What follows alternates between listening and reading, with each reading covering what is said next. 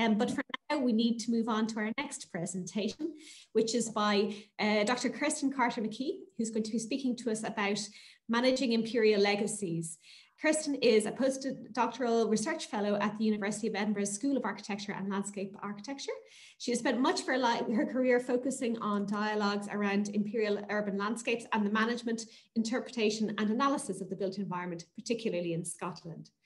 In 2019, she was awarded an RSE networking grant in collaboration with the Coalition for Racial Equality and Historic Environment Scotland, which aims to engage with the legacies of white supremacy within Scotland's built heritage and how this can be understood, discussed, and managed in the future. You're very welcome, Kirsten. Over to you. Thanks very much, Susan. Um, thanks to you all for inviting me along today, and uh, thanks to all the speakers and the discussion so far. It's been incredibly interesting and enlightening. Um, as uh, Susan's already uh, highlighted, I'm here to talk about and hopefully give a bit of a plug for um, the Managing Imperial Legacies Network, which is a collaborative two-year platform uh, with uh, Historic Environment Scotland, the Coalition for Racial Equality and Rights, and the University of Edinburgh, which is funded by the Royal Society of Edinburgh. Um, although Susan mentioned it was awarded in 2019, it was um, uh, intended to commence um, in um, March 2020 um, and uh, was designed to link communities, heritage professionals and academics together to build links and provide opportunities for roundtable discussions, um, conversations that link research and history, the historic environment management and community projects within the urban realm that focus on conversations around race and empire and how these can be engaged with alongside discourse on social and reparative justice. Can I have the next slide, please? Um, so, uh, why is this necessary and what is it for?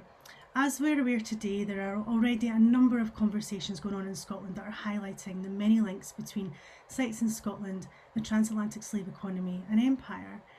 Re research such as Glasgow's links with the transatlantic slave trade by Professor Simon Newman and Dr. Stephen Mullen, Doctors Karly Kehoe and Chris Dalglish's work on the historic links between the Highlands and the Caribbean, and as we've heard earlier, Lisa Williams of the Edinburgh Caribbean Association's detailed work in Edinburgh, um, along with my own work, uh, which links uh, large swathes of 19th century Edinburgh New Town to Scots profiting off of empire in India, as well as numerous others, have all added to the wider conversation on this topic.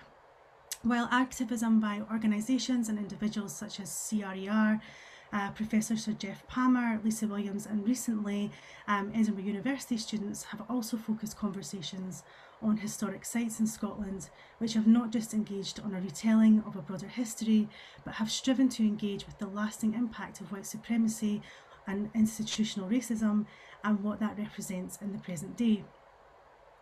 So managing imperial legacies wants to facilitate conversations on what we do with narratives around race and empire within the built environment and how we engage with grassroots activism and emerging conversations on this. While this project, out of time and financial necess necessity, has focused on one facet of this through the lens of Scotland's links with the transatlantic slave economy, it aims to provide a process to engage with more inclusive approaches to our historic environment in order to begin the process of decolonising our engagement and work within this more widely,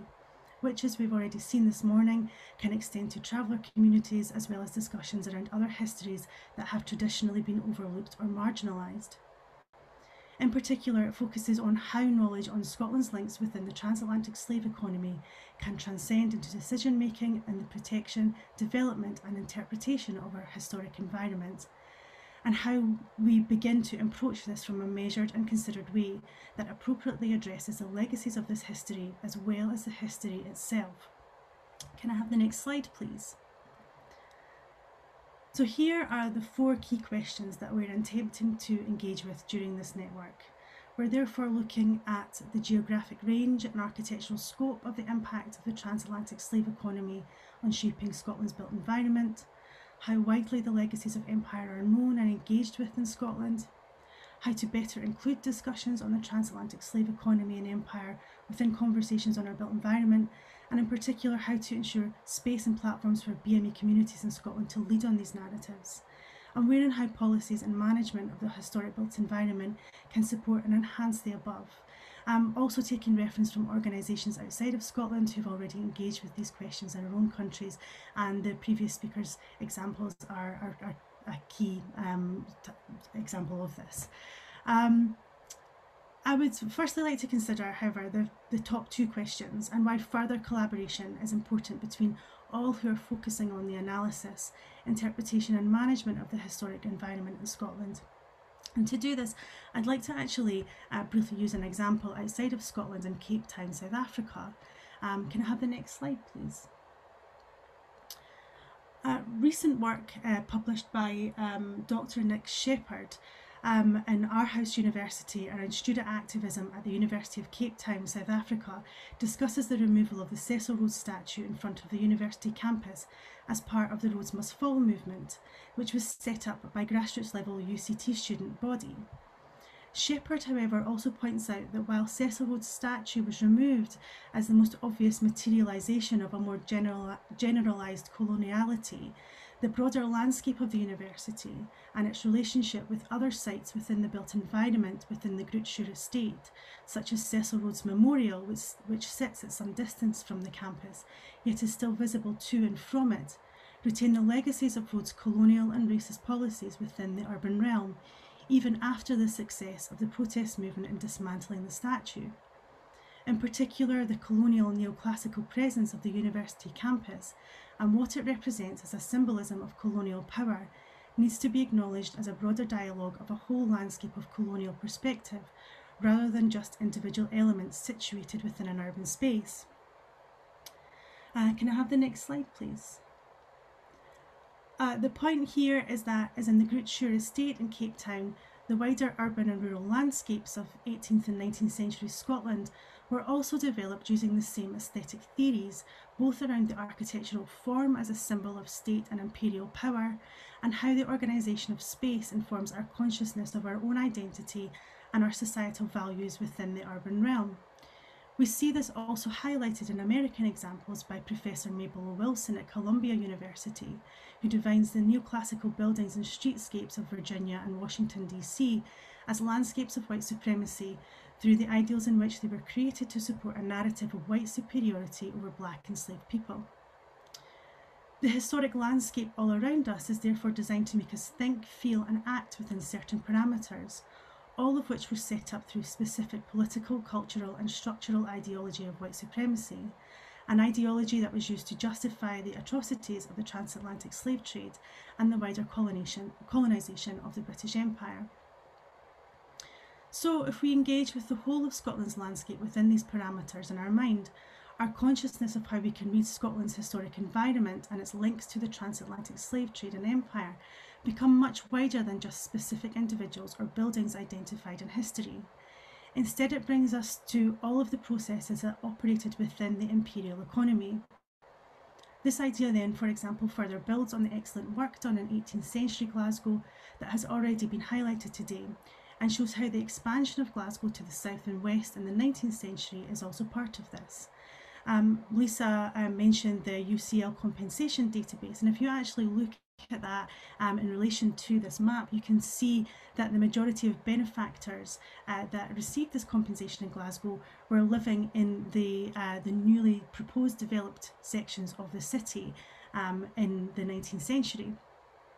Uh, this will also expands to the development of industries and infrastructure in Scotland, such as investment in railways, which has already been touched upon today, and links between the advancement of empire and the development of ports to both protect the mainland and facilitate the shipment of goods to, to the colonies. Um, as we can see here, um, 1807 proposals for the extension to docks at Leith, and the role of industries such as spinning and weaving flax in Dundee, which was imported from the Baltic and then sent it to the Caribbean and the American colonies, um, a process which predated the and anticipated the jute industry in Dundee, um, obviously another imperial link.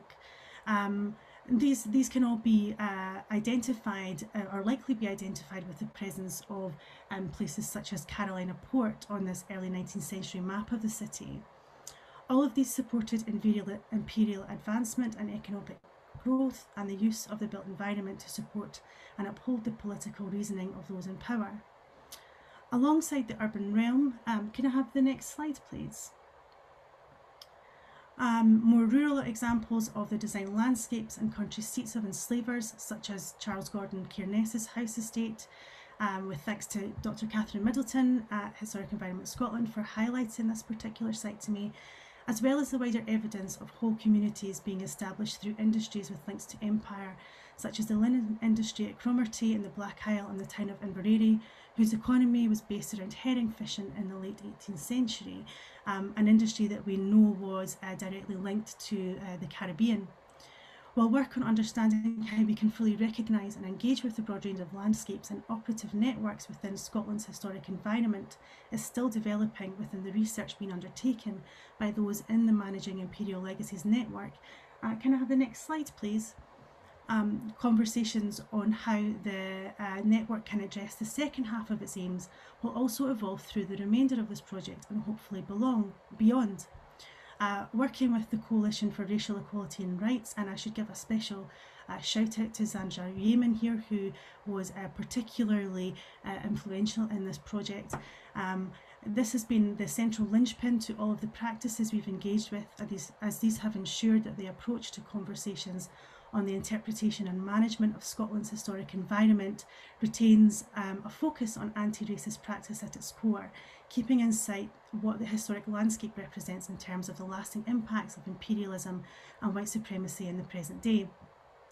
This is a particularly important part of the process of engaging with conversations on race in Scotland's built environment and must be practiced alongside any addition to the site's links to the transatlantic slave trade or empire within its historic environment record or wider discourse on its management or development in the present day. And next slide, please. In particular, a focus on creating a COVID response to the approach to our work, as well as aiming to continue to find ways to decolonise the wider academy and the opportunities and processes for funding within this has helped us find opportunities um, and the impact of our proposed outputs and delay of the project start due to COVID-19. Um, these are listed here um, in the, uh, the impacts and uh, the proposals that we have already um, uh, sort of implemented. Um, can I go to the next slide, please? Um, however, the group are conscious that in order for this network to really have as broad an impact as possible, there is limited opportunity to engage with the wider community in inline processes. Um, not everyone has access to the internet or feels comfortable with engaging with online platforms, for example, particularly in light of the huge cuts um, to funding to the arts, cultural heritage and the charitable sectors, um, it was felt that in order to further engage with these conversations, our approach to this project should also be scrutinised under the same parameters of social justice that we are trying to engage with in our approach to this work. And so funding for in-person events has been realigned and has now been put alongside additional funding recently obtained to provide a COVID response to expand the project, which will all be implemented in early 2021. And these are some of the projects, the, the, the money that's been earmarked for these projects. Um, so just finish it off with just saying that um, we're keen to expand this network and um, we would really uh, like people to get in touch with us um, either with um, uh, research that they're carrying out um, with uh, projects that they are looking to work on um, and so, so so so please do contact us and um, hopefully we can expand our network further over the next 18 months. Thanks. Thank you very much, Kirsten. It sounds like a really interesting piece of work and how unfortunate that you've been uh, interrupted like the rest of us by COVID. But I think for this kind of work in particular, it's really useful to do face-to-face communication.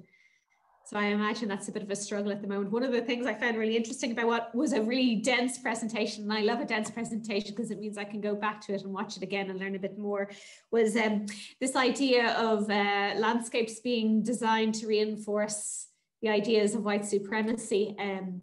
I think there's a real temptation when you're an architectural historian to look at buildings as little islands in of themselves and not look at the actual street form and, and uh, understand what that teaches us. And I think statues in particular maybe bring that forward a bit more, but I think that idea of looking at a, a map or a plan of an area and saying actually